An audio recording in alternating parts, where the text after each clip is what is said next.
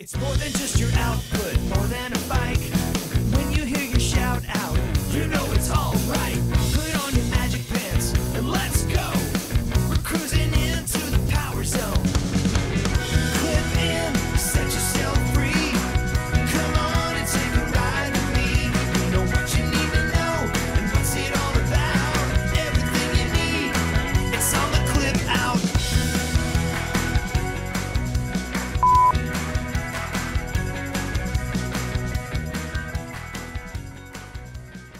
Welcome to the Clip Out Podcast, episode 345. This is Crystal O'Keefe. And this is Tom O'Keefe trying to get my timer to work. I'm hitting the button, it's not working.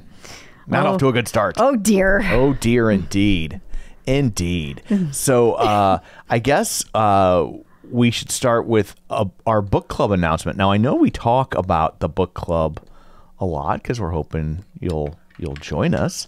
But uh, we have a really big announcement about the book club Yeah. this week. I am so incredibly excited. So, the next book that we are reading is Turning Inward by Ross Rayburn. The big news is that Ross Rayburn will be joining us on February 13th on Zoom at 7 p.m. Central, 8 p.m. Eastern. I am so freaking excited.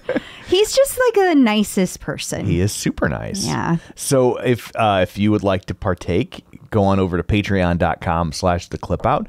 Uh, you have to be a Patreon member, but it's but you can do it at the free level. You don't have to give us money, although we'll take it. yeah, absolutely. We're and not proud. um, but uh, but you can you can do this for free. But um, but it, it- all the information will get pushed out, the links and all that will get pushed out through Patreon. And we're asking that you RSVP for this one. If you have a question, you can submit it and um and not ma- just RSVP, register. Register, So sorry. the only place you can register is going to the Patreon page. So it's patreon.com slash the clip out.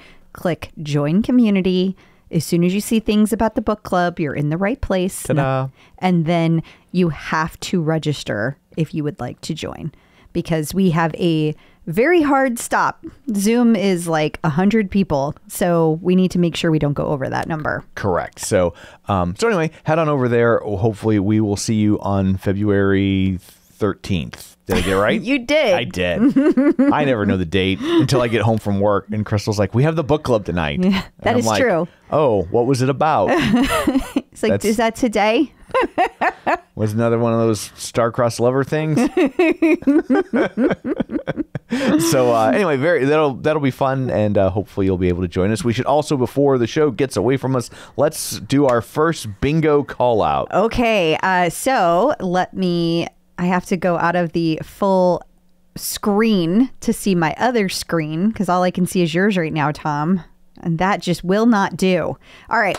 So for our first call out this week, it is Cody Rigsby. So if you take a class with Cody this week, just mark it on your little bingo squares. And I think uh, for a lot of people, that's like a free square. I mean, there are a lot of people that take classes with Cody. There's also people that never take classes sure. with Cody. I Yeah. mean, all these instructors are that way because Yeah. there's just so darn many of them. There are. We're very fortunate. So anyway, there you go, and we will have a second one later in the episode. And hopefully, Tom didn't record or didn't delete my little note I of where didn't. we're supposed to put it. It's on the list, so Phew. you hush it. That's enough out of you. So, uh, uh, and who was our guest this week? Our guest is Andrew Sellars. Uh, a few months ago, we had him on to talk about VO2 Master and uh, how things were going with my running. And this time, we have Andrew Sellars back, and he goes through my numbers. And uh, this is this actually was recorded in October. I know it's been a while. well, now I feel better about not remembering Um, You it. weren't even there. Well, I feel even better about not remembering it. Well, this will be a real treat for the listeners. like, oh, hey, Tom's not there. this might be our most downloaded episode ever. But it, I, I feel like people will find it interesting for a few reasons. One, we get super into the data and we look at how my numbers have been coming out, but also we start talking about Stride and the um, program that I'm using through Stride. Um, and then uh, I have an update, but we'll we'll listen to his his uh, interview first. It's not really an interview, it's more of a discussion. But after that discussion, I'll give you an update on how things are going as well. Okay, well, we will do that in the back end. Okay. So, um, and other than that, what pray tell do you have in store for people this week? Well, we have big news on the Tread Plus. Um, we also have some updates. You know, the earnings call is coming up, so we have some discussion about that. Uh, we also have a discussion about lots of things that Peloton has been up to this week, not to mention the instructors being in the news. We also have a visit from Dr. Jenn. And this week we talk about uh, when grief is impacting your motivation. Uh, we have an artist series update, past guest update, and uh, a bunch of content stuff as well. Okay, well, before we get to all that shameless plugs, don't forget we're available on Apple Podcast, iHeart, TuneIn, YouTube, wherever you find a podcast, you can find us. While you're there, be sure and follow us so you never miss an episode. Maybe leave us a review. It is super helpful, and we do very much appreciate it. You can also Find us on Facebook at facebook.com slash the clip out while you're there. Like the page, join the group. It's a great way to stay up to date on things throughout the week so you don't just have to wait for the weekly episodes. And uh, if you would like to support the show, we would love to have you. Uh, you can do that over at patreon.com slash the clip out. Uh, it's only $5 a month and you get tons of stuff along with it. It's not just a donation. We actually give you things in return. uh, you get ad-free episodes. You get uh, if we get the episodes early you get them early. If we get them late you'll get them a little bit earlier than everyone else who's getting them late. But we've been pretty good lately. We just had some hiccups at the top of the year. Yeah. but uh, we've been back on a roll. So but anyway if we get them early you get them early. And uh, of course you get bonus episodes. And it's a just extra stuff that we didn't have time to fit in the episode because we're trying to keep these tighter so it's another. This is a this is a busy week for that. it is. So there's another 20, 30 minutes of content uh, uh, over there. So if that's your jam, we would love to have you. And also, uh, don't forget you can watch all of these episodes over at YouTube, youtube.com slash the clip out. And finally, uh, you can get all the links and whatnot sent to you if you sign up for our newsletter at theclipout.com. So there's all of that. Let's uh, let's dig in, shall we? we shall. Peloton in the news. we finally have some insight as to when the Tread Plus will begin shipping. Yeah, so I don't know if anybody who listens has been, you know, checking out the OPP, but let me tell you, there have been pretty much every five minutes since January 2nd. Does anyone know when the Tread Plus is going to start shipping? And today we got an answer. So I will say this that is irritating if you're on the OPP, but so is being on the OPP at this point. Like, you know what you're in for. I don't Yeah. feel bad for you. But Agreed. Uh, but I will also say that's maybe a good sign that that many people have bought one and are like, TikTok, where is it at? That is true. That is true. I mean, they needed that to happen because don't forget they had 10,000 of them sitting in a warehouse somewhere. Right. But uh, we got an answer today. The emails started going out. Tread Plus will start shipping in two weeks. So that is definitely early 2024. They are saying that all of the pre orders that are in right now will be delivered by the end of April. okay. Yeah. And I know there's a lot of people that are upset about how long this is taking, but I just want to remind everyone that when Tread Plus first came out, um, I had to wait an entire year after I pre ordered. Yeah. So y'all just settle down. They were like, it will be out by the fall. And, and it, it was, like on December 20th you got yours. Yeah. I mean, it was as close to the winter solstice as you can get. Yes. So when Peloton it was actually says delivered by two Wiccans. That's how close to the summer solstice it was. winter, winter sol- solstice it was. Yeah, um, yeah, it's funny though. I mean, I get, I get people want their machine, and I and I know they're excited, and Yeah. I totally understand that. But it is, it is kind of just like, okay, y'all, just chill. Yes. Um, but I, I guess on the other hand, I can kind of understand like, um, you guys had them sitting in the warehouse. What is the problem? So, my theory is that they are trying to coordinate the rear guards being installed Yeah. with the existing ones and any, let's say, feature changes that could be dropping, happening kind of all at the same time. Gotcha. So, Okay. that's well, there you go. If you ordered one and you've been waiting, your wait is almost over. Congrats. Also, there is some Lanebreak Tread Plus news. Yeah, so this is speculation. Right. Let me be very clear. But about a week ago, there was a video that popped up on Peloton Studios Instagram, and it was Matt Wilpers, and he was talking about all the technology that was dropping across Peloton in the month of January. And um, that video was taken down approximately 30 minutes after it was released. but before it got taken down, I saw that they said that Lanebreak for Tread Plus was everywhere. And it's not, right? Which is why the video got taken down, I'm sure. But back to my point about the Tread Plus getting ready to ship, I think it's pretty safe to say we are real close. Real close. By the end of January, I suspect we are all going to have Lanebreak for Tread Plus, and I'm very excited about that. So let me ask you this and play devil's advocate. Sure. What if it got pulled because it's not going to be ready in time for January and it's going to be like mid February? I mean, hey, anything is possible, Right. uh, and that could go along with the tread. The tread plus is starting to ship within two weeks, Mm-hmm. um, but if they already created the content, my guess is that somebody put it up on the wrong day, like they had it scheduled. Like it was supposed to go out like. You know how you can the schedule fourth things- Wednesday and they hit the third Wednesday Right. in their little calendar view. Yeah. exactly, exactly. It's super easy Not to that do. I've ever done that. So any yeah, we all have. Anybody who does anything with a calendar has put it on the wrong day. And so listen, I'm not promising anybody anything, but I feel real strongly that it is I feel like it's going to happen bef- by the end of January. That's why when I'm like happy anniversary and you're like it it's next Tuesday. oh. Sorry. Just kidding. That's I just couldn't wait because I love you so much. But I love you more.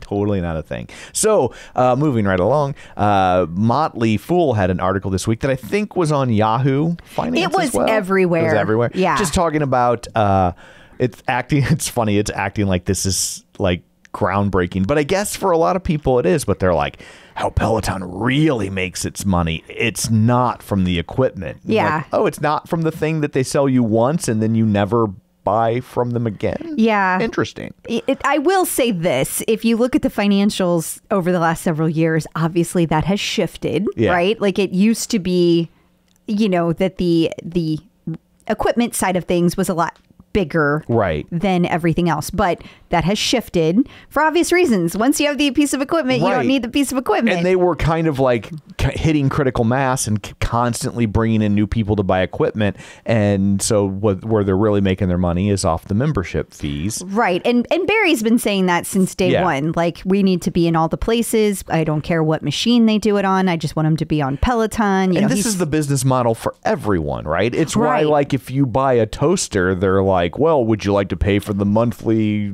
set your toast by what it looks like on the app right I don't know why anybody would do that on a piece of toast. i don't know but Okay. they'll try it They will. if they think that they can get you to give them eight ninety five a month for the ability to do it, then they'll do it. I mean, Facts. everything's like I mean, Everything. remember, remember when we were kids, and you could buy software, and Yeah. then you would own the software. Do you remember when you would had you had to install it on your computer? Yeah, and, and you had oh, that was a whole Now process. everything like you can't buy software anymore. No, it's Every- funny. I was I was perusing like just things, and I happened to see that like every posting out there about job stuff these days Mm-hmm. is like service software as a service, software as a service, Yeah. software as a service. Like everything is Yeah. that these days. even movies, right? Like Oh, yeah. like I like I have we have, but I'm the one who this is my week these are my leggings is buying movies on Vudu. Your leggings. and uh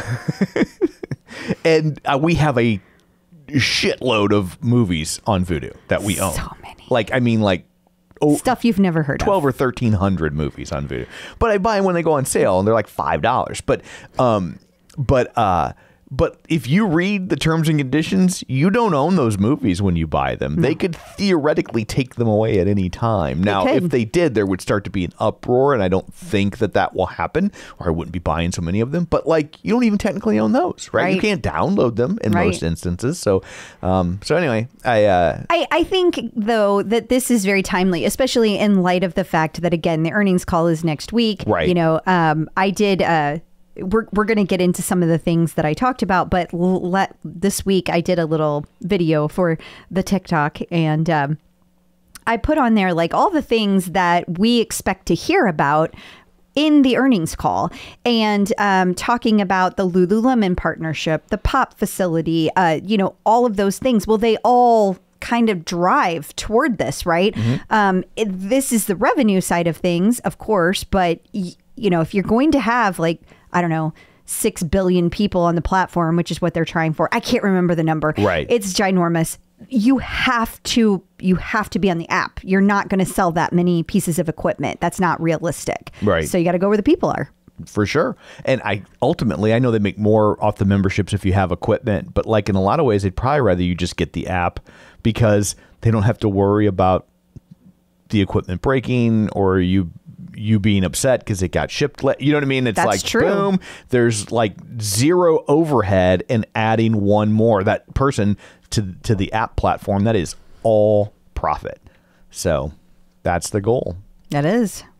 Speaking of the pop facility, it was sold last week. Just right after we got done recording, you came across this story. Yeah. I mean, this is a big deal. This this is monumental. Like there are moments that pass quietly Mm-hmm. and it doesn't affect any of us, right? Like so you don't really think about it. Right.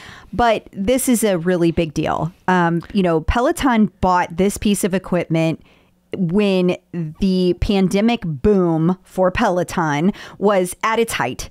And it, they bought it for $6.2 million because it was just land. Right. So they then started creating the manufacturing facility that summer. So summer of 2022, or I'm sorry, summer of 21. And then February of 2022, John Foley stepped down. The wheels start to come off. 3,800 Yeah. people were let go. Everything changed by February. That quick. That's how it went.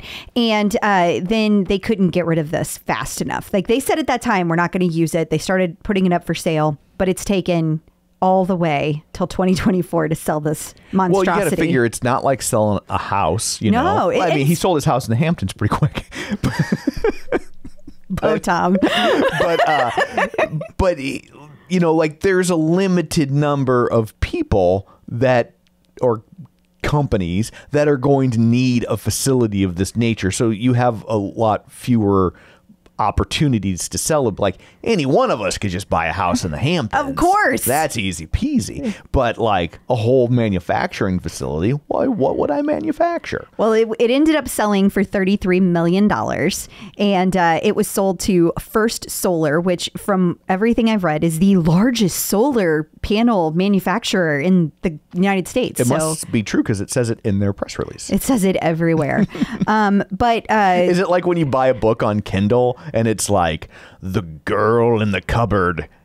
it the, is. the taut psychological thriller. Anytime a book describes itself in its title, I'm like, this is hot garbage, And it- I it's won't true. buy it. I It's like true. Anytime, like any title of a book that has its own description, like that book is a piece of shit. Do not read it. I see what you're trying to do with your SEO clicks, and I'm not falling for it. Yes. But anyway, uh, yeah. So First Solar bought it. It's done. This means, though, just in time for the next earnings call, we should see or at least understand how it's going to. I mean, this will affect the next quarter, Right. but we'll get to hear, I would think, some very preliminary idea of how it's going to affect the financials. For So I'm- sure. I'm, excited about that. Hopefully, stock market like stock market likes it too. Yeah.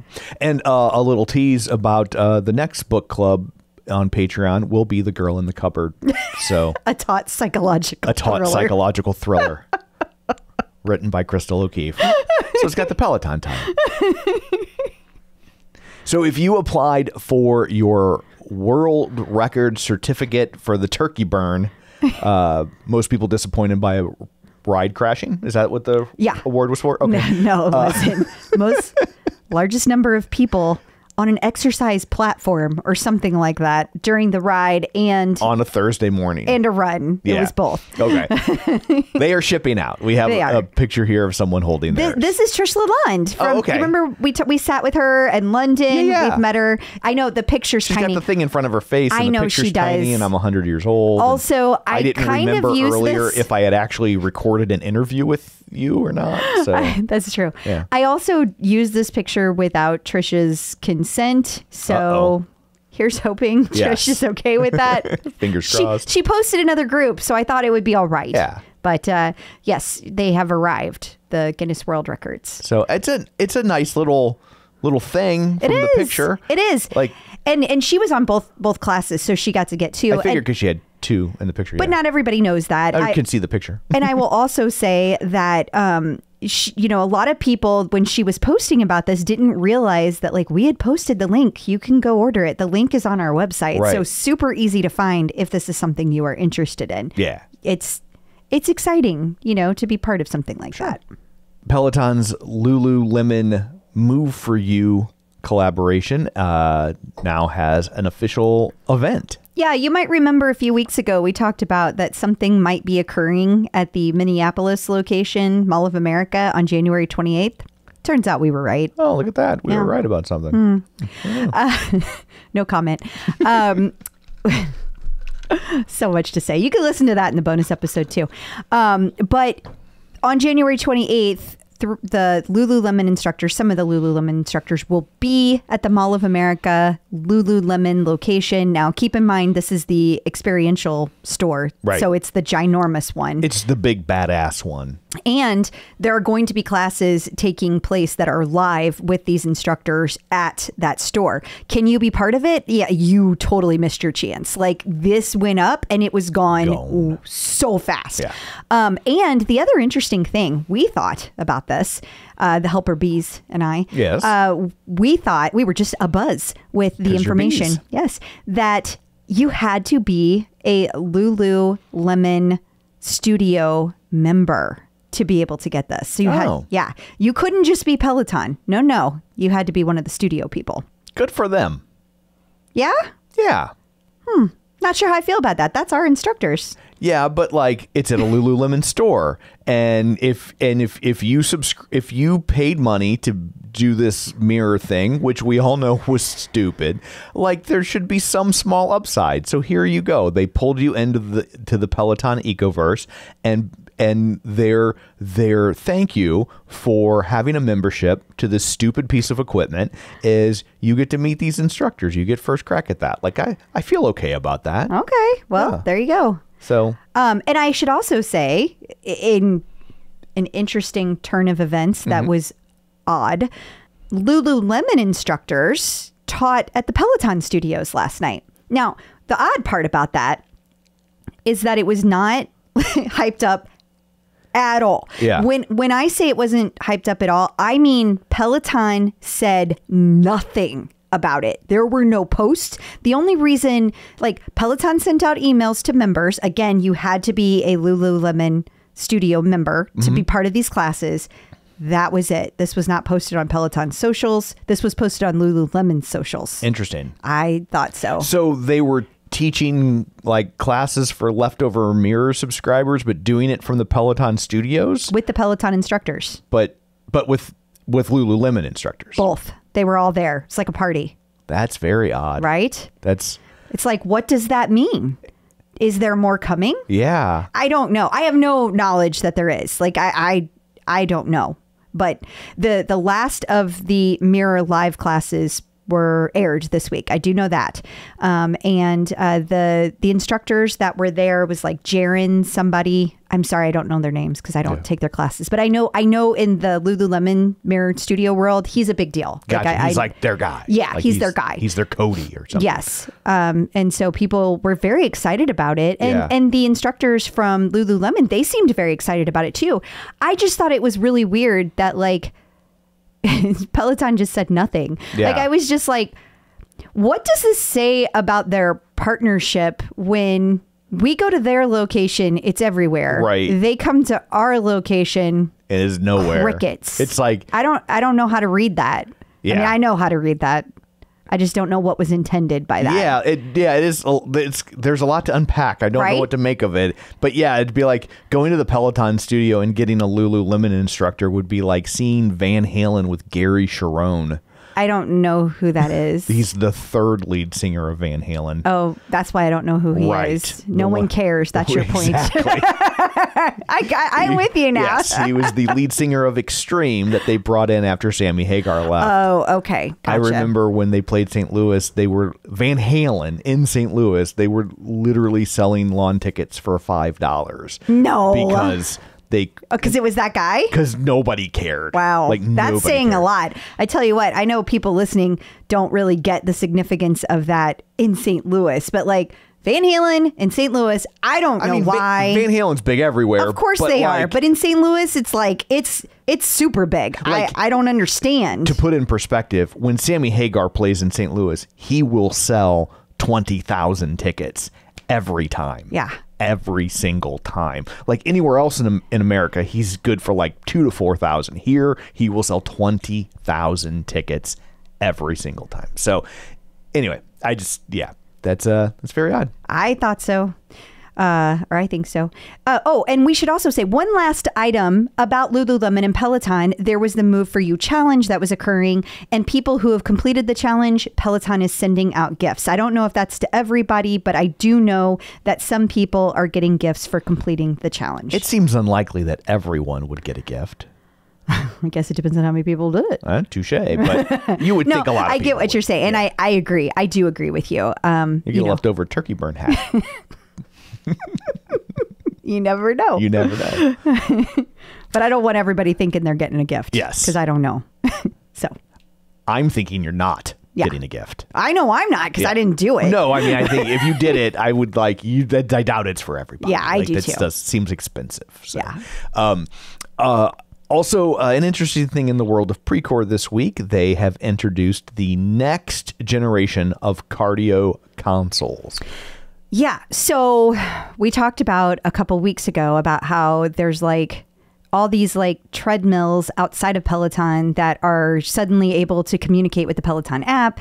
Peloton never did communicate anything after Yeah. we asked. They were just like, we have no comment on We don't know what you're talking about. They didn't say that. yeah, I know. They just, they I, I came don't, real close to being like, they just they just said they had nothing to say about it and they were very polite um no comment you know no no matter how you spin it it's no comment Right. but regardless uh the interesting thing is this new console uh allows you to use whatever's on your phone so it doesn't matter if it's peloton okay, or if it's mirror or if it's Apple FightCamp Oh, I mean, yeah. whatever you Yeah. you can mirror whatever's on your phone Yeah. that's that's the whole point of it which makes uh, perfect sense because Precore is primarily going to be in public facing areas, hotel gyms, public gyms, YMCA's.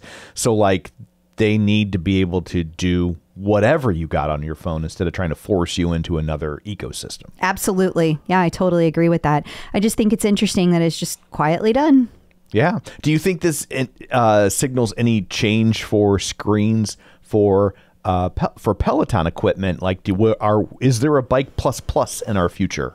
I don't know. I think my maybe this is just what I want. I think long before we see a bike plus plus, we're gonna see uh, we're gonna see the tread plus plus. That's what I think. you'll see a better tread plus than the current tread plus Yeah, what would you do to make it better Well, Or we just a new we screen? talked about this already um, a few weeks ago. I mean, it's been a couple months when they first started um, selling them, but like keep in mind that it's the Tread Plus is being sold right now are stock from 2018. So I think you're going to get an updated tablet. Mm-hmm. I think you're going to get potentially a different motor, although I've been told there's a difference between AC and DC, and that even though it's a different horsepower, it's actually better in the Tread Plus. Um, but I think that primarily I see potentially the tablet being updated on the Tread Plus. I don't know what other things they will add to that, but I think that the tablet on the Tread Plus needs to be a Tread Plus Plus.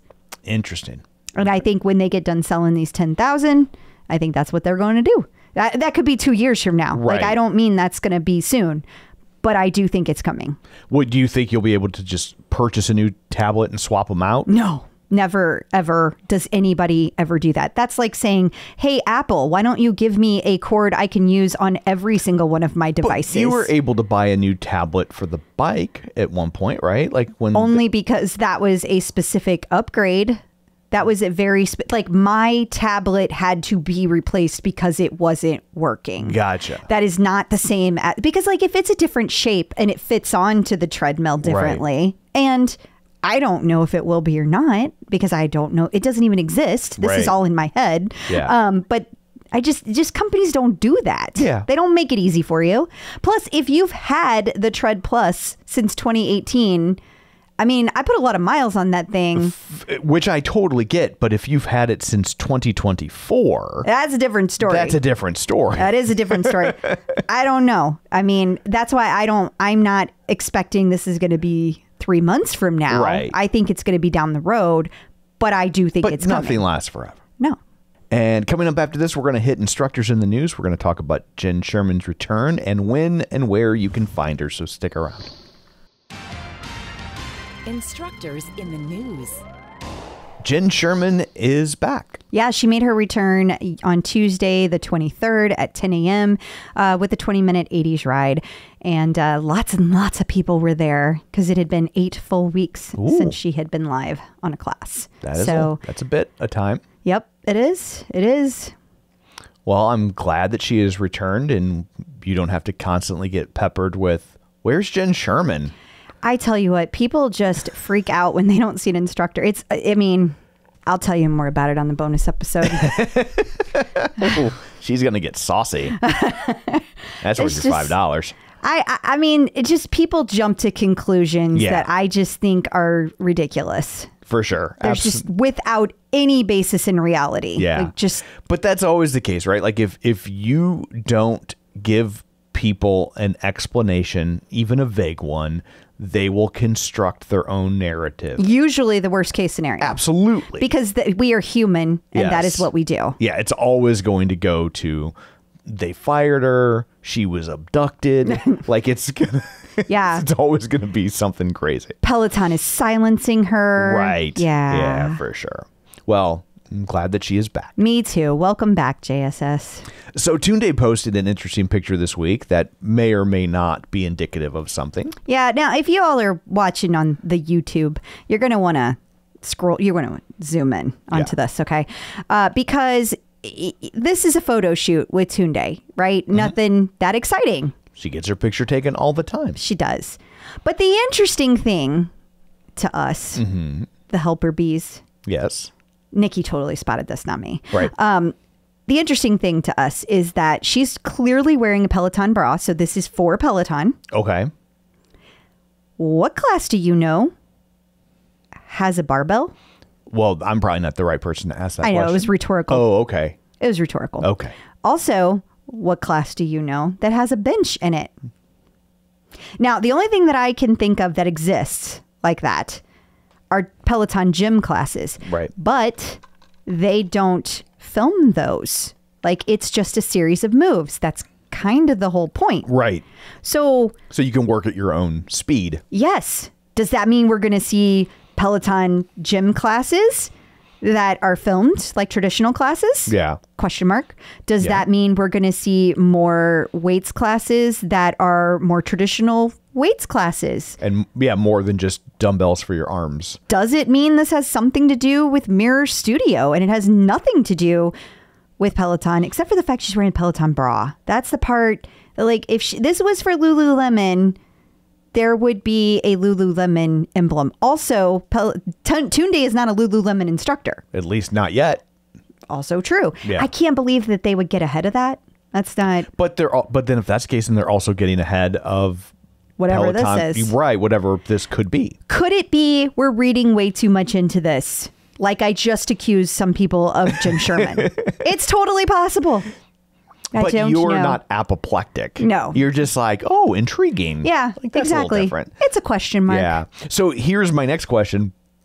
Does that mean if if this were for Peloton, does Yeah. that mean Peloton is going to start selling barbells and weights? Well, they already sell weights. But I mean, oh, like, you mean plates? there we go. Yeah. I don't. I got a tonal. I don't know what this shit's called. Yeah. I don't know. We shall see. We shall see. There's And- nothing branded Peloton there. Yeah. Which is another interesting thing, right? Yeah. So whatever this is for, And it like it, is that bench um already out in the wild? Does that? I mean, I don't. I know nothing it's about weight benches. It's just an incline bench. Yeah. It's kind of hard to tell if that's something, you know, that exists. They, they look so similar. Let me feed into your QAnon level conspiracy theory here. Come with me. Come Okay. with me. It's got orange knobs on I it. did. I did notice that. I Yeah. did. I will say one of the tipsters immediately said uh, that their Bowflex, their Bowflex gym bench also has red knobs. Gotcha. So again, Could mean anything. could mean anything.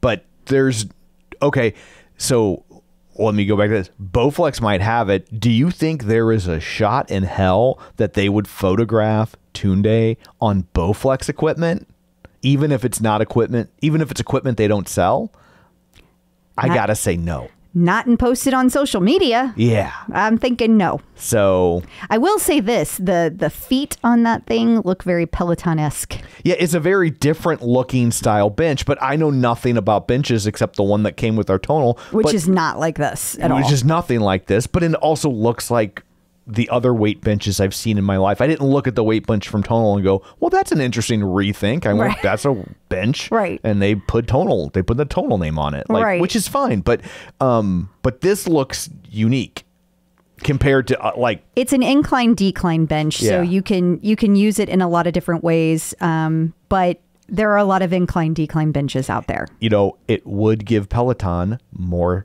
things to sell. That it would. So anyway, just uh, we're like Joe Rogan. We're just asking questions. We're just asking questions. and forming crazy conspiracy theories. It's fun. It's fun. Let's vote on them. Yeah. that ought to be good. So uh, Susie Chan has uh, a documentary about her that came out from Peloton Originals. yeah. So first, let me just say, let's focus on Susie for a second. Okay, She's so amazing. Just so amazing. I, I don't think other women are amazing. Sure. Um, but uh, I watched this today, and there is there is quite a bit of focus on the Peloton community, and I say quite a bit. I mean, probably like three to five minutes out of a thirty minute documentary. So like some good focus, Right. Um, of how much that the Peloton community has supported Susie, but also it just shows her entire journey. It's really really super cool. Uh, now to Tom's point, the favorite part about this Peloton Originals, which I did post another article. I don't know if you have another article in here about that. I, as a matter of fact, do not. Okay. well, then I'll wing it. Um, so do. the interesting thing is that it- when Peloton said that this documentary was dropping, it's it had a splash screen that said Peloton Originals, which is very movie studio sounding. Right. Production studio sounding. And this is a long form thing for Peloton. 30 35 minutes. 30, 35 it's minutes. 30 yeah. minutes. Okay. Um, so when you think back about when Bex was going, she was doing her Olympic trials for the Great Britain Olympic team. They had a documentary about her, but it was very different because it ended up being four parts, each about seven to eight minutes, and they're they were released in little chunks Mm-hmm. over four different weeks. So it ended up being about the same length of time, Right. but but the presentation was very different. It did not say Peloton Originals on it, so that was different. Um, now, I did reach out to our powers that be at Peloton, Mm-hmm. and uh, I got a chuckle in response. Okay. and they just said this was done by our content team. That was it. like maybe they just put it on there as like a little joke. Like, we're a studio now. Ha, I don't. ha, ha. I don't know. I don't know. we- they had fucking credits on this thing though. Yeah. Like it said produced by. It said featuring. It had all the instructors' names on it.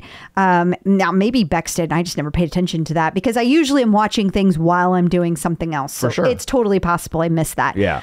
But the other interesting thing about this was that it dropped on all of the equipment today.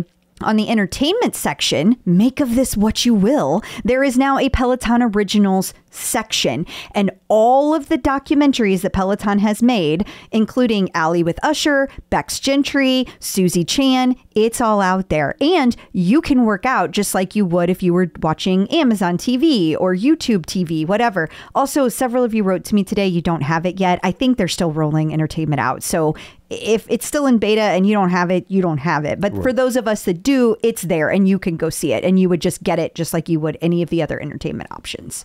Interesting. Well, the fact that they created its own like channel or they're gearing up to makes me think that you're going to see a lot more of these.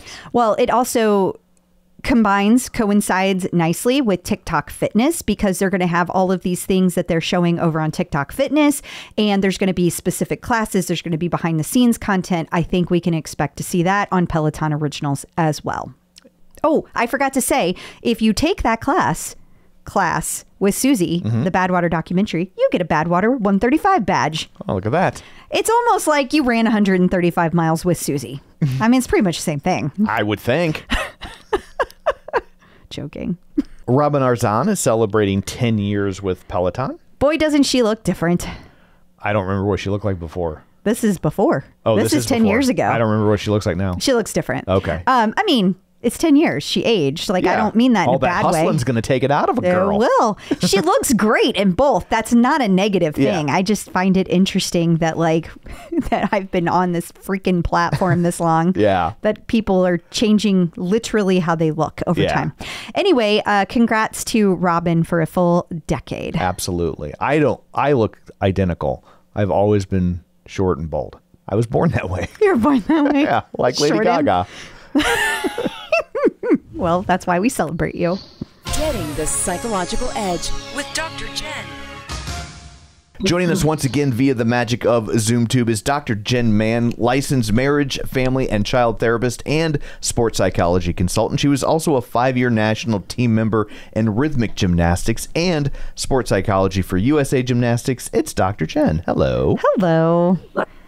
Well, uh, we have another question for you that I think is going to resonate. It's oh, it makes me tear up just thinking about it. This is from Jenny Davis. Um, she lost her mother in September after nearly two years of being her primary caretaker. She is exhausted and, of course, grieving. She knows what she needs to do to be and feel healthy, but she's struggling with finding the motivation. Makes sense. Yeah. Oh, Jenny, I feel you, girl. I know. I was like, are you submitting questions Yeah, to Dr. Jenn- yourself Dr. under a Jen's over pseudonym? here. For myself. Yeah. So, Jenny, this Jenny um, also lost her mom. I lost my mom in June, as many of you know.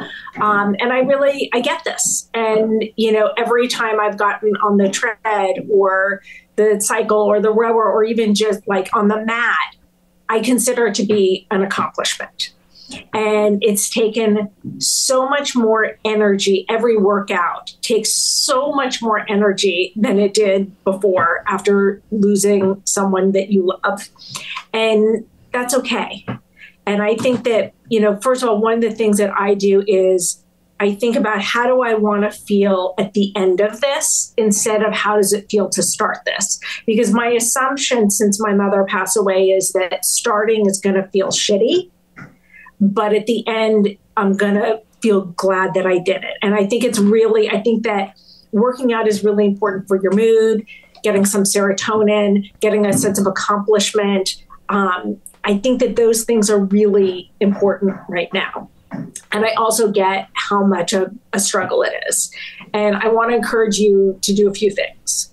Um, one is if you're not already in therapy or um, involved in a grief and loss support group, I want to encourage you to do that because having someone to talk to and a place to bring this to and someone to help you go like, oh yeah, that's normal, that's understandable, like is really important.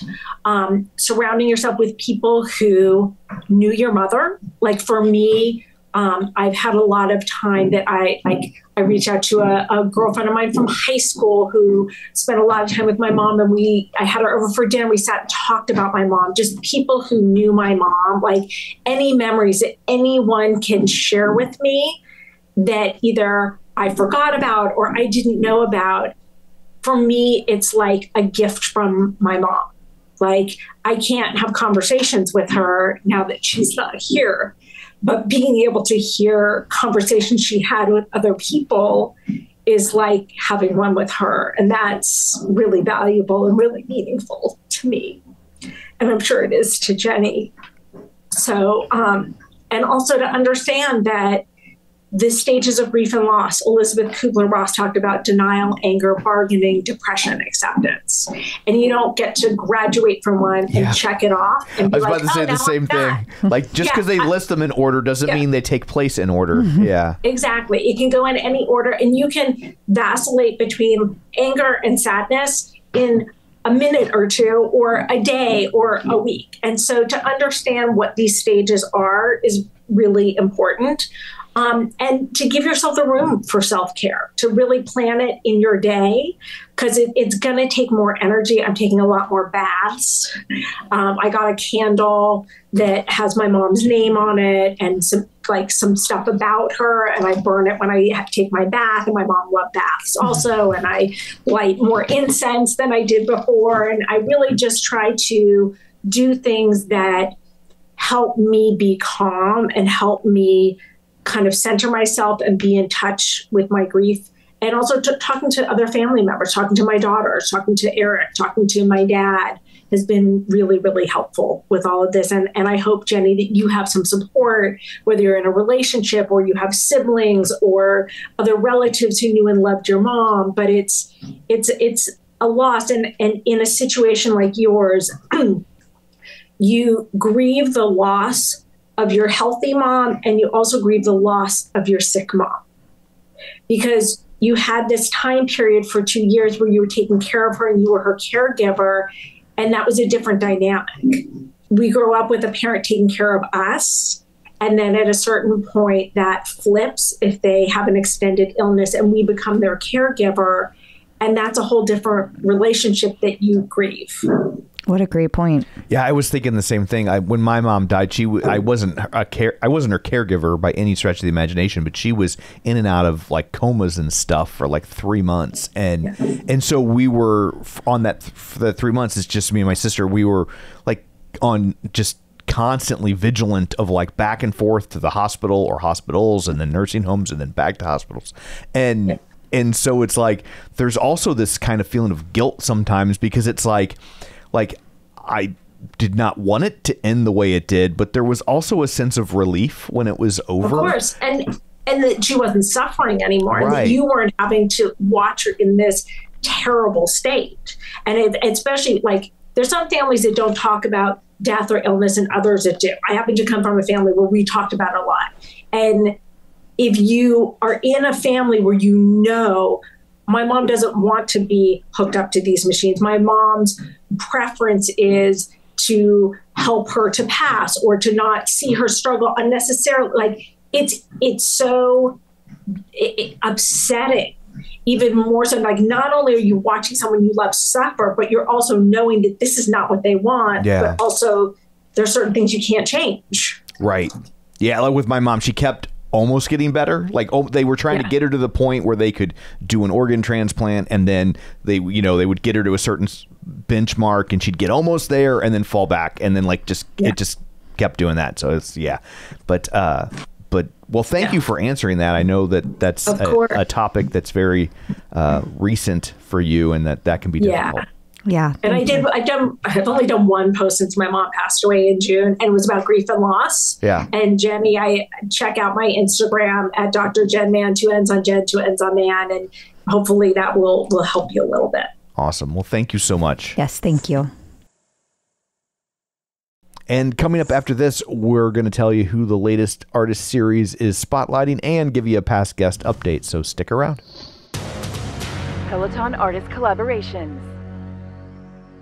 The latest artist series spotlights Pink. Oh my god, I'm so excited about this. Oh, are you a fan? Yeah, a little bit. But here's the cool part, Tom. Yes. Susie Chan is teaching a pink class. Holy cow. I'm surprised there's not crystal shrapnel everywhere. I mean, the squee was so loud, all the helper bees heard it. I am so excited about this. And I'll tell you what, I am not the only one. I have No, she's this, a big deal. She is a big deal, but we have had this particular article has been shared so much more than any of the other past article, like the artist series. Right. Like they they typically get liked and people you know make their little comments Yeah. like who who's yeah. this Who's pink? yeah, I didn't see that one. Um, but like, people are so freaking stoked. This has been shared everywhere, and people are tagging their friends. Like, they are so excited. And there are a crap ton of classes 14 classes, 14 chances Holy cow. to have an amazing class with Pink. I am so, so down for this. Yeah. You can raise your class. So what? That's not what a fan would say. Well, that's the name of a song. I know. Okay. I've seen her too. Well, I was there next with I was there next to you, although you might not have realized it because you were very focused. I was. There was a lot of and a lot of singing. Past guest update. You might recall a guest we had on a while back, Jill Ilana. She's a little person. She had a lot of uh, interesting tidbits about how she can use Peloton because the bike is not equipped for someone of her size.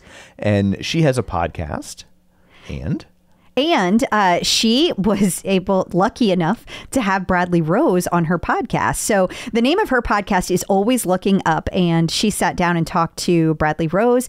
Uh, and they talked about what it means to be part of the disabled. But they also, she ended up taking um, the class, uh, Day of Disabilities class with Brad Bradley as well. So um, she was very excited about that. as she should be. Yeah.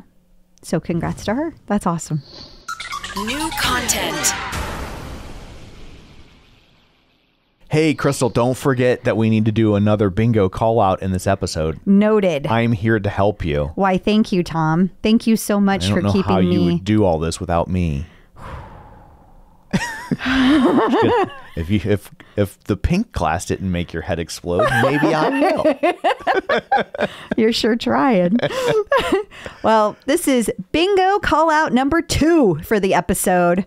Nico Sarani. As a reminder, if you don't, if you don't typically take classes with German instructors, you will or might need to make sure you change your filters to include German instructors. Now that bingo is out of the way, let's take a look at the TCO top five, where we reach out to you, the listeners, and make you do work so we don't have to. Uh, our first class that people are recommending this week, your favorite Peloton Row Boot Camp.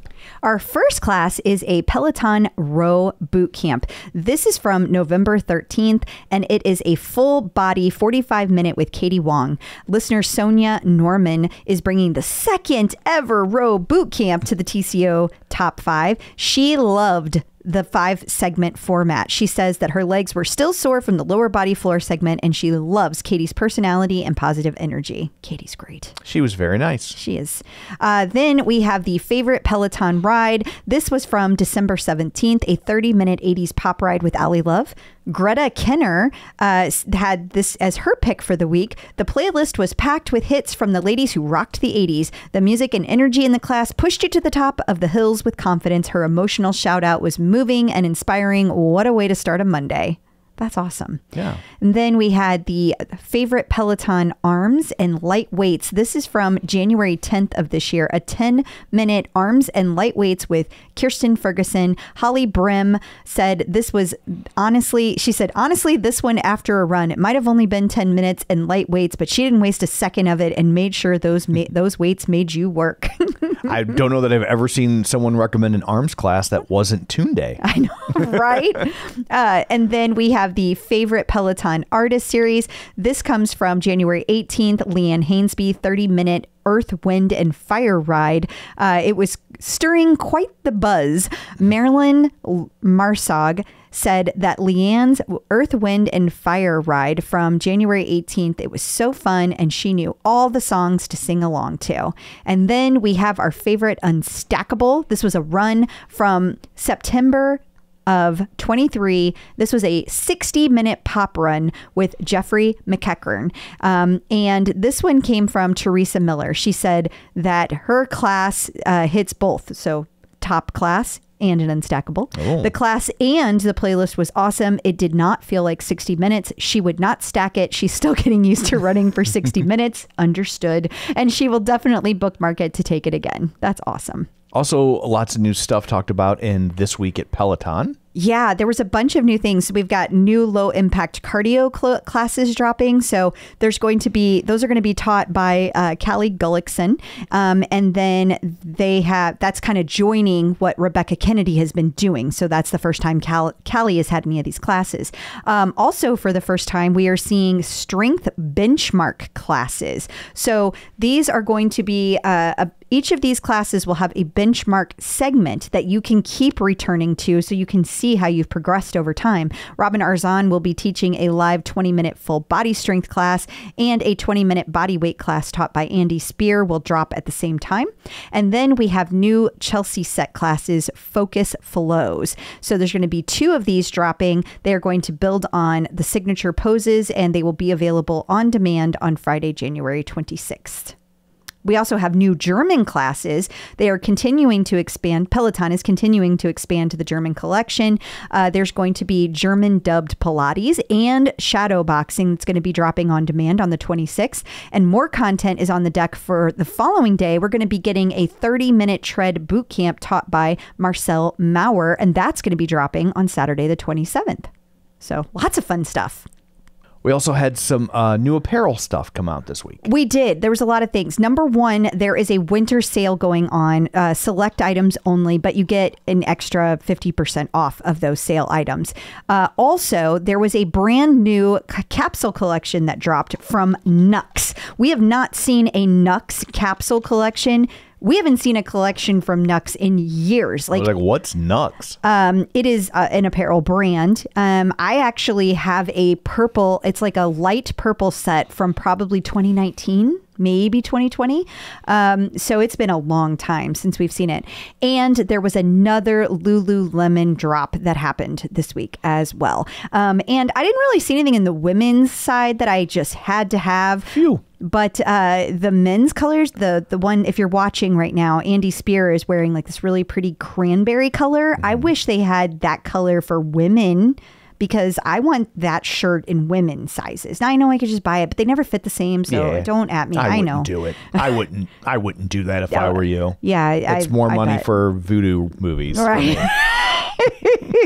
I've got plenty right now. Don't worry, I'll be back. Peloton birthdays. And finally, we have one birthday this week. It's on January 28th, and it is from Kendall Toole's mother, I guess. really, technically, is who it's from. But uh, but since we don't have a way to say hi to Kendall Toole's mother, say happy birthday to Kendall Toole instead. Happy birthday. And coming up after this, we're going to have our interview of the week. Crystal is going to talk to Andrew Sellars about VO2 Masters and her journey there. So stick around. You don't have to listen to me. Checking in with the Peloton community.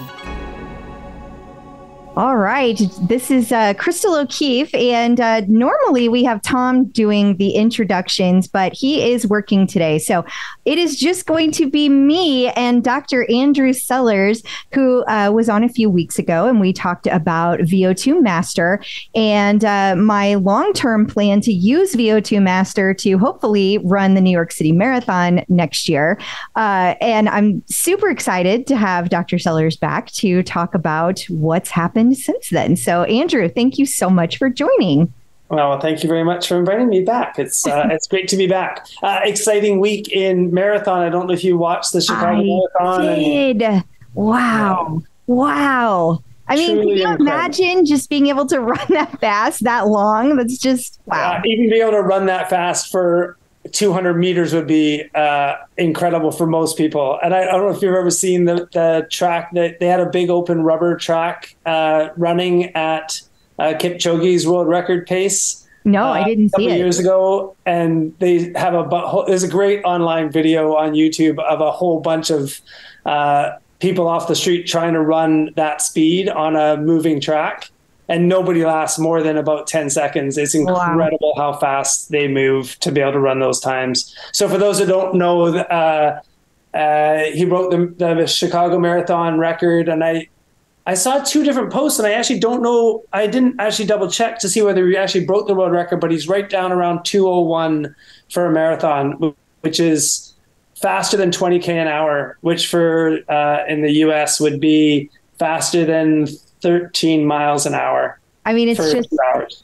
It's just incredible to think that a human being can move that fast and Yeah. and and like you said for that long like that's it's it's my brain cannot wrap my head around it no, it's, it's incredible. Uh, and then the other exciting thing for me, of course, is uh, it's Ironman week. Uh, so World Championships for the men uh, happened for the first time uh, in France this year because they split the men's and women's race. So uh, two of the athletes that we support uh, did extremely well, and one of the athletes that I worked with last year won World Championships uh, for the first time. So that's Sam Laidlow from France, and we were over there doing exactly the same testing that you're doing. Uh, with him last year, and so he won. He was second uh, last year in Kona, and he was, he won in Par- in Nice uh, this year, which is awesome.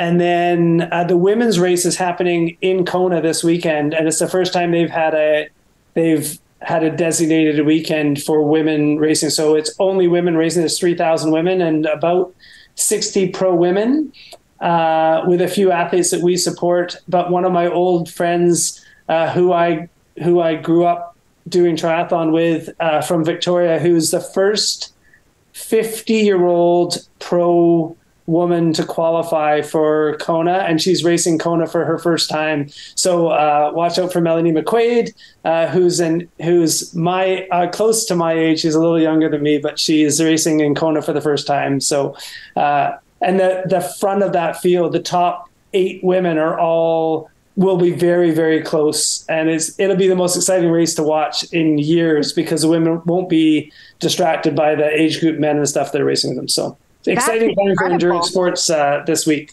That is exciting. Wow. Wow. I will definitely be watching that. That is, i had no idea they'd even separated them out like that this year. Yeah so saturday morning uh, it'll be mid morning your time because you're four hour uh, four, four hours or five hours after hawaii time. Uh so i'm two hours after california. Yeah so you're two so you're four hours after hawaii. So okay Yeah, they'll be mid morning by the time they start. They start at 7 a.m., so that'll be 11 o'clock ish your time. i will be watching Okay. okay, on to you.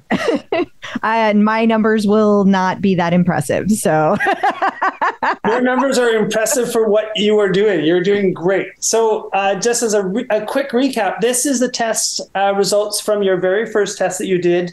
Uh, and this is on a one minute step test. You started at a really easy pace, which is a walking pace for you. You went up to as fast as you felt that you could do. And this is just summarizes those results. And so we went over this last time, but maximum heart rate on that day was 167, which was at a VO2, gave you a VO2 max of 31 at a power output, which you were using, I think you were using a treadmill uh, to determine that power output of 230. So, uh, and we determined the program determined a VT1 and a VT2. These are thresholds, ventilatory thresholds. So this is below this, you're going quite easy, which is basically your warm up early fat burning phase. Between VT1 and VT2 is really your endurance phase. And above VT2, you're getting into vigorous and maximal efforts. And so we were using these to help guide your training. And I was asking you to do all of your training under VT2 and see what happens. So really, but training between VT1 and VT2 is really what the recommendation, what I was recommending. And I also asked you to repeat the test uh, after a month.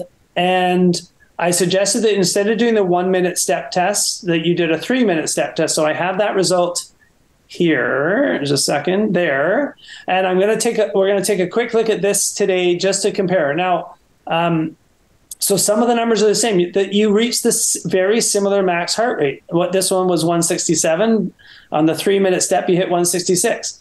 Interestingly enough, you used a lot more oxygen yeah when you were going three minutes at a time. So you got you maxed out at a higher wattage, but your VO2 didn't actually climb as high.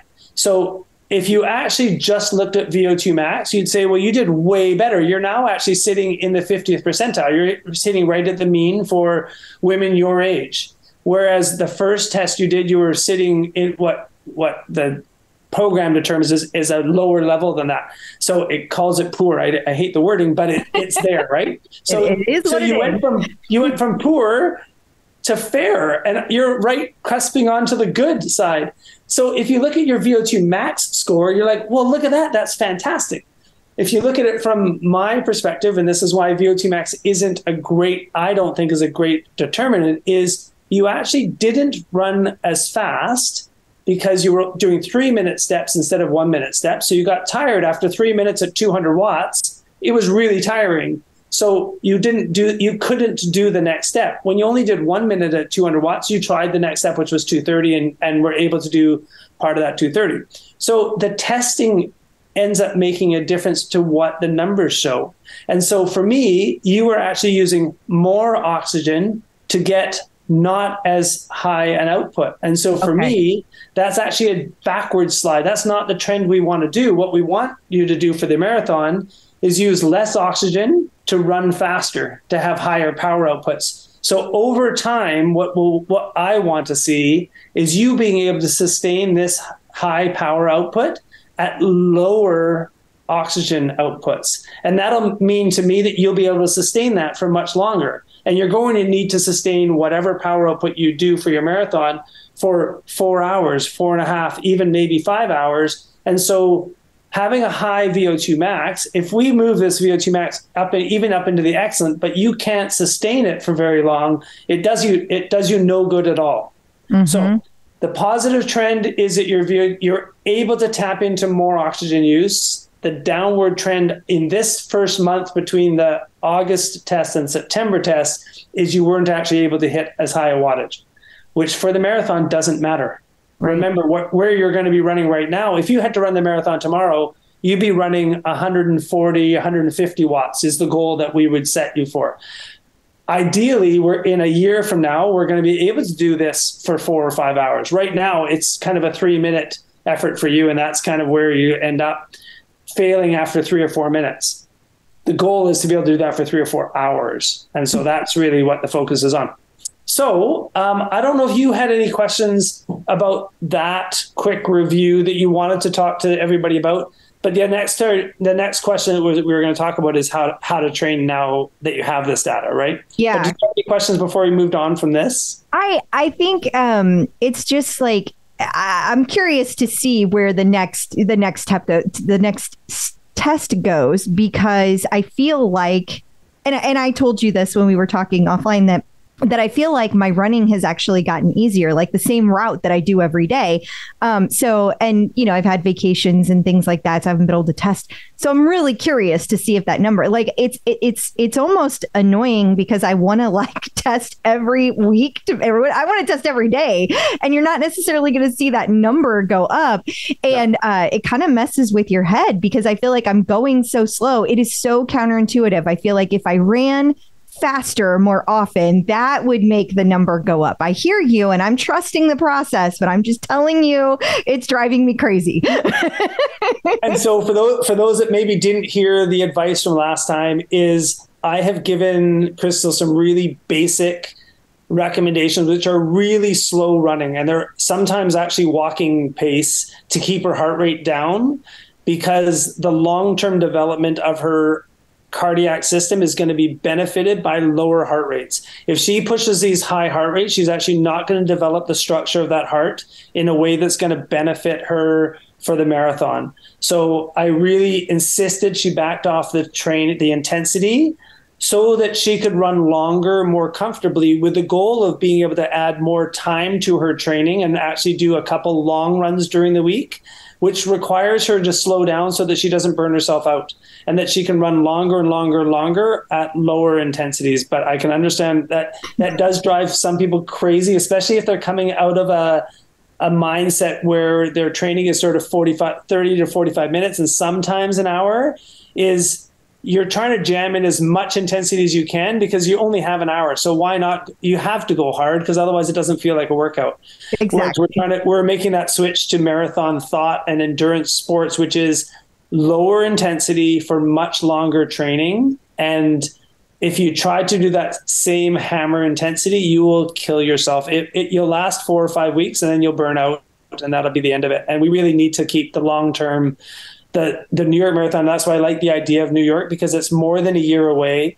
And really, what we're training for is New York Marathon five years from now, or Chicago ten years from now, where you're still loving running and you're still showing improvement. And that is the fascinating thing about marathons is you can actually improve for the next ten years.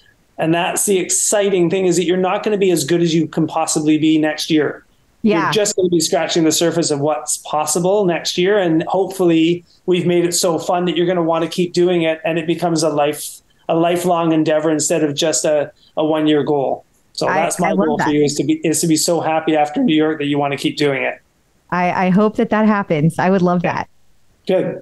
Uh, so you sent me a question about whether stride sensors and the programs that they develop that are, are automatically based on what you've done before and all the data they're they're using your data to give you an idea of what is what a, a suitable or suggested training plan would be.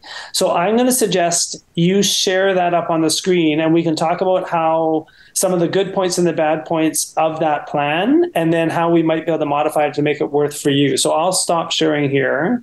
And while you're pulling it up, I'll tell people a little bit for people that don't know what stride sensors are. They're little foot pods that you attach to your laces on your shoe, and they pull a ton of data off of your running dynamics. So it the the simplest thing it gives is how much power you're producing and it uses the speed that those foot pods are moving and the number of foot strikes in a minute so it can give you your cadence. Uh, it gives you how long a stride length you have. It tells you it can even tell you how long your foot is spending on the ground so your ground reaction time. Uh, so those are the, the big metrics are cadence stride length and uh, power output wattage, and it converts it to wattage, uh, which for cyclists is a really handy metric because it it becomes a lot more uh, easy to understand sort of what good numbers are and what what challenging numbers are. The other things on uh, Stryd, so um, as Crystal's going to share, she looked at a number of different programs to see, and she sent them to me to ask me my advice uh, because Crystal and I aren't in a coaching athlete relationship. We're just um, just sort of helping her understand VO2 Master, and I didn't feel it was. I felt I didn't feel like I had the time to be able to coach her properly. So she was looking for coaching options that she could fit into her schedule and work around her schedule. So she sent me um, to ask me my advice about the Stryd one, and I was, was quite impressed with how accurately the Stryd used the data that she presented to actually suggest tempos for her different duration runs.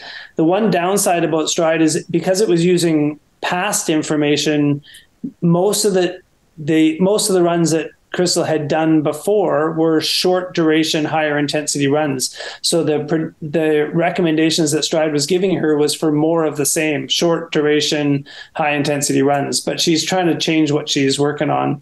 So uh, I suggested that the initial program that Stryd was suggesting was really short um, and didn't give her long enough duration workouts to actually be beneficial. Uh, thank you. And then, um, okay, so Stryd Plans, um, they have this really cool thing called a plan builder.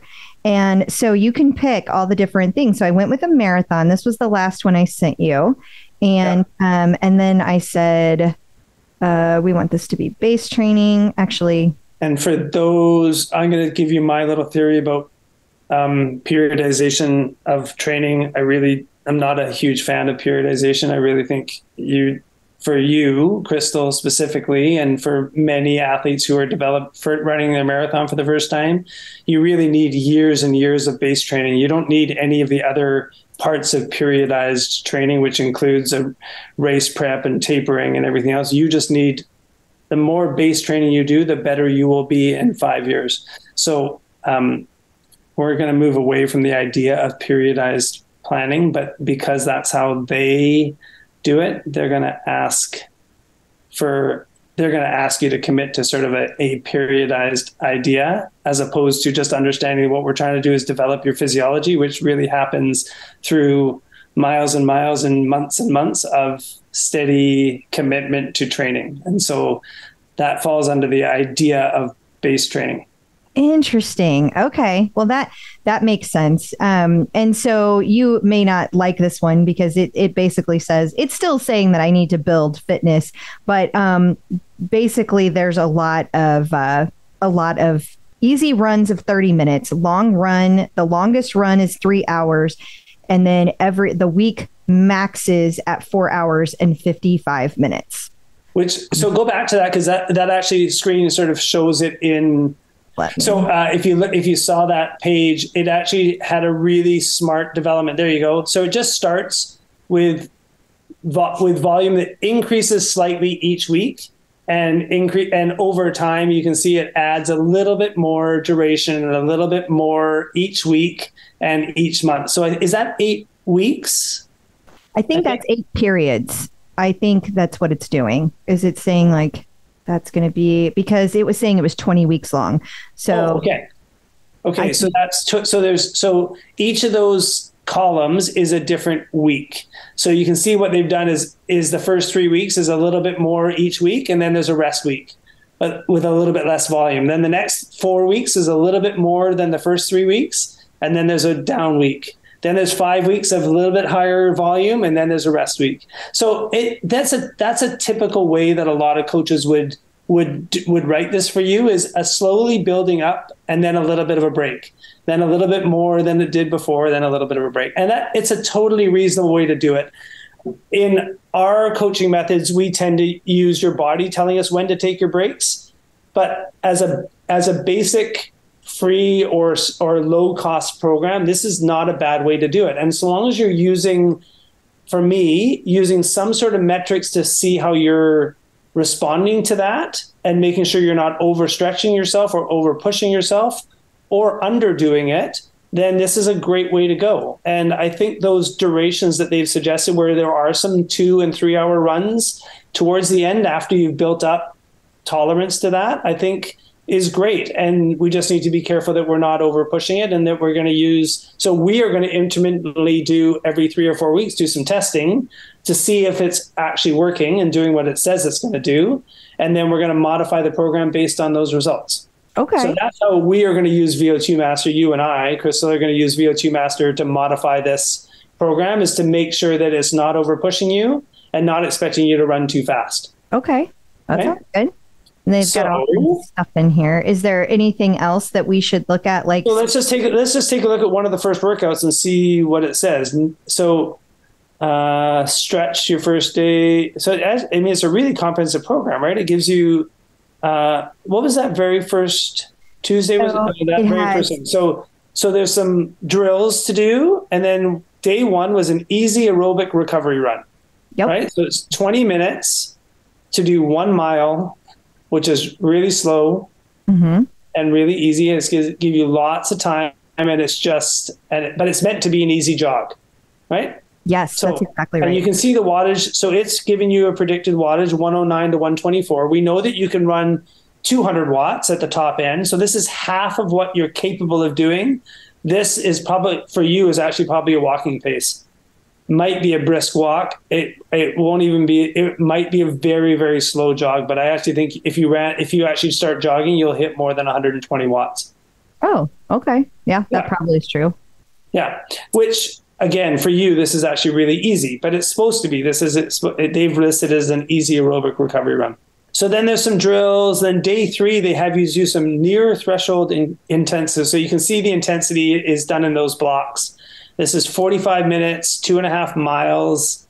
Um, so I'll just read through it quickly. So it's saying that these are close to your threshold. And if you remember back, your ventilatory thresholds are around that 155 to 160 watts. And that's exactly what it's predicted based on your previous run. So this is where I was I was really interested to see what intensities they were suggesting. And I think it happens that this is actually going to be pretty close to what I would have suggested from the VO2 data. Okay. Well, that's great. What'll be interesting for you is whether it feels like that or not, and then being able to see whether this intensity of interval training actually has the benefit that it actually and what really this is doing is trying to get you to run close to what your marathon pace is going to be for short intervals with lots of rest. And that's why they have you recover right after that for like a Exactly. So Okay. six minutes of running, three minutes of recovery, Okay. right? And it looks like they do that uh, three times. So they do it one minute on and two minutes recovery, which is twice as much rest of, as the running, and then the opposite. Six minutes of running, three minutes of rest, three times, and at the end of that workout, it sh- that should feel like a hard workout for you. But with the recovery, it should be it should be sustainable. And if if this is predicting right and if our VO2 testing confirms that those numbers are right, then that's the right intensity for you to do those kind of thresholdy intervals. Okay. And Yeah. and this is helpful for what I'm trying to do for the marathon. Like that was my big my other big question because right now you have me like running like four four to five times whatever I can do, like as much as I can get in. So I was like really nervous about just taking on this without talking to you because I'm like, I don't know, am I making it worse? Am I making it better? I don't know. doing this one doing this kind of workout once a week in my eyes is fine. okay. Doing Okay. this as all of your workouts being- being high intensity intervals, which is what you how you used to do it, is is not suitable for what you're trying to build. But for one workout a week of a fun workout where there's some a little bit higher intensity, a little bit higher uh, challenge is totally fine. Okay. Okay. Well, that makes you feel a lot better. Okay. They also and then, so let's see what else is in there. So then there's some strength work and some plyometrics, which might be really hard after that kind of run. So I'd be a little bit careful with those. But see, this is a chance for you to see. This is because it's the first time you've done it. This is where you try it and see how it goes. Like, oh my god, my legs were so dead after that. I couldn't imagine doing plyometrics or or doing any stuff. So my suggestion is you skip it if it feels too hard. If it feels good, you keep doing it, and and then we chat about it after. Okay. Reasonable. All right. Okay. Then later on in the week, there's some drills, and then there's an easy recovery run, which is again 20 minutes long, one mile. It, it's crazily short and really, really slow for you. Again, it might be just be a walk. Um, it might be too easy and too short. So those are the ones. If it feels way too easy and you want to add distance to it, you can totally add distance to that one. Okay. Okay. Yeah. And then there should be a long. Then your, there's your long run. So your long run, they're saying is a hour and 15 minutes, which is getting close to four miles for you. Again, if you scroll down and look at the wattages, those should be very easy wattage numbers to hit with the Stryd sensor on. And, and the VO2 testing we did would confirm that those numbers are really easy for you. You may again have to be walk jogging that because it's such low intensity that you to keep your heart rate down low and keep in that wattage range, you might be walking. Anytime it goes uphill, for sure you'll be walking. But you may be able to do some easy jogging on the and jogging on the downhill to hold that wattage. But you think I should follow what they have? I'd like to I'd like to see what happens if you follow those numbers. I would I would have given you recommendations on your heart rate Okay. based on your VO2 data, right? Mm-hmm. So, but I think that you're when we look at this later at how your body responded to this. So you, when you pull that data back and look at it afterwards, you're going to have your heart rate data and the wattage data, and we'll be able to compare that to your VO2 tests and see where you fit. And that's what we'll compare and say, yeah, you know what? Those wattage that you hit gave you the exact heart rate that we were hoping that would get you, and we're happy with that moving forward if we look at that heart rate and your heart rate's way higher than we expected it to be, then these numbers are are over predicting what you should be doing. Likewise, if, if your heart rate is really low, you just never got your heart rate up into up over 100 or 110, then we can say, listen, you know what, that's actually not benefiting you as much as we were hoping, so we're going to increase the intensity a little bit. Okay. That's how we'll use what we'll use the data off of how you felt on the day and what your heart rate did in response to these wattages to see whether this program's actually we think this program will work for you. Awesome. That sounds Yeah. very reasonable. Very But I think exciting. this is a reasonable place to start. I, I don't have any problems with any of those workouts other than resp- listening to your body while you're doing it to make sure that you're not over pushing. And on those two easy workouts where they've given you 20 minutes to do a mile, it's going to feel really, really easy. And if you feel like going a little longer than that, by all means, those days you're totally okay to go longer as long as you're keeping it really easy. Okay. Okay. Well, that is super, super helpful. Is Okay. Anything else in Stryd that you want to look at before? No, I think that I, that was the main thing was just to sort of take a look at the first week because you can see all the weeks are kind of are very similar. They're just going to slowly build distance up, and they're going to mainly do that by adding a little bit of time to each of the workouts. So instead of being a 20 minute workout, it'll be a 30 minute easy jog, and instead of being an hour and 15, it'll be an hour and a half, and that's how they'll build the time, and that that's perfect because there is a plan. You can see a plan for 20 weeks, mm-hmm. and that's mentally that's really good because you're committing to something that's going to keep you on track. And i think that's a, a really positive part of this whole thing is is having some sort of positive feedback that you're checking out the boxes and you're getting the work done. And then we'll take a look and, and see how the, how it's responding. That's what we're going to use vo2 master is to help. Is it making the difference that we want it to make? And are you feeling the changes that you're expecting to see? And so it'll be it'll be interesting to see how your test goes this weekend. You and I will talk after the test to see how it went for you. And then the next time we get together for a podcast, we'll either have two more tests to, to see over time one after your vacation and holidays, which is this weekend's. And then my suggestion would be in three or four weeks, you're going to test again after three weeks of the Stryd training. And we'll say, hey, look at that. Here's here's what we expect to see, and here's what actually happened in that test. Okay. All right. Okay. Okay, so that is super helpful. Um, it's a little, it's a little disheartening that I kind of feel like I went a little bit backwards, but I, I genuinely feel better. Like when I go and do these runs, they feel so But easy. remember that test was in. There's two things about that to remember to not be disheartened about. Okay. That test was between August and September, where you were just getting started. True. The tests were different. One was a one minute ramp test, and the other was a three minute ramp test. And three minutes are harder to do. You're doing. You're spending longer at each interval. So, and that's again, we really pulled those up, not to say that you were taking a backward step, but to show that if you just look at VO2 max numbers and ignore everything else, your numbers look way better. You went from the 29th percentile to the 50th percentile. So they're way better. My concern is that if we ignore all the other pieces of information that are in that test set, then we could be we could be fooled into thinking you're a remarkably better athlete, which doesn't make sense. In four weeks, it doesn't make sense that you would go that much. What it that, what it shows is the difference of the test, Right. not the right. difference in you, because you're really not that much different an athlete in four weeks. I would have expected to see small, small changes, and really your max heart rate was no different. Your ventilatory threshold was almost exactly the same. So those are the changes that are going to happen slower over time, and it's important not to get caught up in one number or one test. Yep. You're right. I think because you're noticing that there's a difference, you'll see more difference between the August and October test or between the September and October test because you're noticing a difference already. And tho- that that feeling will show up in a test. And when we redo it again in three or four weeks after consistent training with the Stryd sensor, I think you're going to see another small change. And that's what we'll have fun time looking at in the next podcast. Wonderful. Well, Andrew, thank you so much for all of this. I really appreciate not only your time but your expertise and and just helping me understand all the numbers and and stay on track. So, thank you for all of this. It's a really fun journey. I'm glad uh, I'm glad I get to be a part of it. Oh, I am too. thank you. Okay.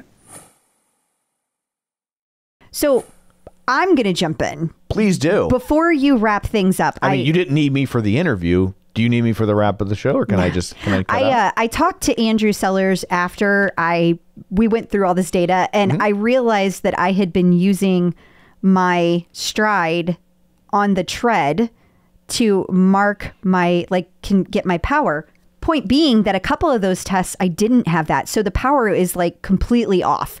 And so when we reran the numbers, I had actually improved by forty points on like my power across the board. So uh, he was like, make sure that at the end of that, you tell people that you have improved 40 points. So I was super excited about that.